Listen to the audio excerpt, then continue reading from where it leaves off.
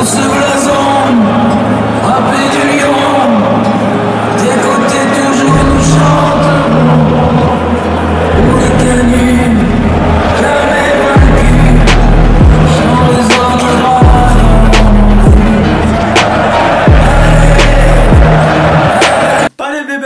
vous êtes tous très. On se retrouve pour le débrief de l'Olympique lyonnais. Tout de suite, on démarre avec, euh, pour commencer, les compositions d'équipe. Après, on va voir euh, un petit truc que je vais mettre en avant, comment Lyon aurait pu mettre en difficulté de meilleure façon Reims. Après, ça va être euh, le résumé, puis le blabla, et pour finir, les tops et les flops. Alors, la composition lyonnaise avec Lopez, Denayer, Marcelo, Kenny Tété. Denayer capitaine, ce sera en absence les deux euh, capitaines Memphis et Léo Dubois, euh, notre ami euh, Thiago Mendes et Lucas Touzard au milieu de terrain, Martin Terrier, Dembélé, Traoré et Maxwell Cornet pour les attaquants. L'entraîneur, monsieur Rudy Garcia. Allez, tout de suite, on voit ce que je vais mettre en avant. Alors, il n'y aura pas de palette aujourd'hui, mais c'est une petite animation que je vais mettre. Alors, il y a un truc que je vais mettre en avant, c'est que les Lyonnais, quand ils ont voulu, on a vu dans le dos de la défense euh, rémoise, ça, bah, ça, ça passait hein, dans le dos de la défense rémoise et ça a créé le danger euh, dans le camp rémois. Voilà ce que je voulais mettre en avant. Maintenant, euh, le résumé avec troisième minute sur le côté droit, Traoré face à Sam Camara, puis centre en second poteau, mais la volée de Cornet qui va taper au sol d'abord et qui ne l'ombrera pas Rashkovic. Ça sera corner pour l'OL puisqu'elle est sortie par le gardien international croate.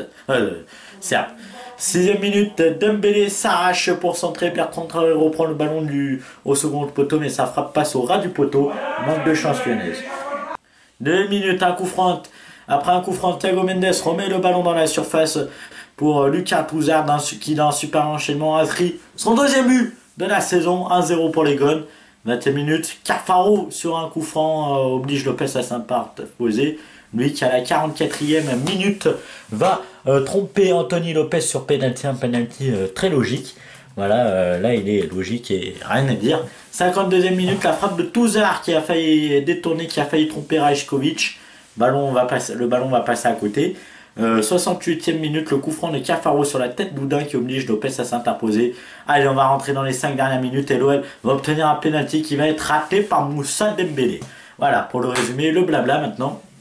Alors, euh, il y a un truc, je veux pas dire, Lyon, quand ils veulent, on a vu des joueurs comme Traoré face à aujourd'hui, hier, euh, bon, moi je tourne la vidéo, ou euh, face à Toulouse super fort, et là, il y a des fois, il va pas être bon.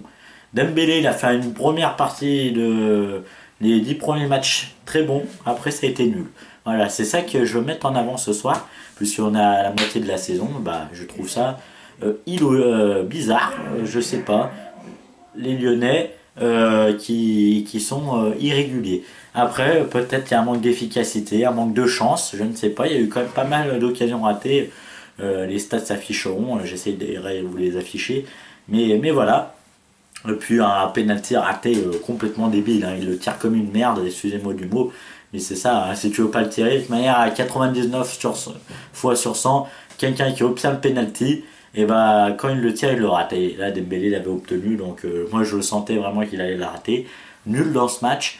Euh, voilà, il va falloir trouver peut-être un autre attaquant ou, ou peut-être mettre les jeunes pour essayer de lui faire réfléchir. On verra bien ce qui nous prépare en deuxième partie de saison. En tout cas, c'est tout ce que j'ai à dire pour le bleu. Ah si, un penalty qui aurait pu être sifflé euh, avant pour Lyon dans la seconde période, qui n'a pas été sifflé. Euh, parce que le joueur va à l'épaule mais il ne s'intéresse pas du ballon le Rémo s'intéresse pas du ballon. Donc voilà. Après les Rémois ont joué leur jeu et ça a marché. Voilà. Les tops et les flops tout de suite les amis le premier top il s'appelle bon malgré qu'il n'a pas marqué Bertrand Traoré malgré qu'il n'a pas marqué l'international burkinabé a été le lyonnais le plus remuant, c'est peut-être lui qui va prendre le statut de leader en l'absence du capitaine lyonnais Memphis. Félicitations. Alors on peut voir ses stats, euh, il a touché une soixantaine de ballons pour 12 gagnés et 23 perdus, il a beaucoup tenté quand même. Et ce que je vais mettre en avant, ce que j'ai aimé, c'est que même s'il rate beaucoup du pied droit, il tente de plus en plus de son mauvais pied. Voilà pour euh, ses stats. Euh, je vous laisse mettre pause si vous voulez voir plus et lire plus la description. Le deuxième top, ça va être le gardien Rémois Pedrag Rajkovic Euh, en plus d'avoir certains pénalty, l'international serbe a été l'auteur d'un grand match. Grâce à lui, les Rémois ont pu prendre un point face à des Lyonnais bien malades. Félicitations. 37 ballons joués, 3 ballons captés, 5 ballons détournés pour euh, Petrag Reichkovic. Voilà, le flop maintenant c'est Moussa Dembélé. En plus d'être inexistant, l'international espoir a coûté les 3 points à l'OL. Plus il doit, et plus il a atteint penalty, il doit se reprendre car depuis quelques temps il n'est pas au niveau. Voilà ces stats qui s'affichent. On va, je vous laisse mettre pause pour les regarder. Voilà, 7 ballons gagnés et 18 perdus, ça fait quand même euh, Bon, voilà les amis, euh, j'espère que cette vidéo vous aura plu. Mettez un maximum de likes, abonnez-vous et commentez la vidéo. Et je vous dis Kichel Pali, à la prochaine, salut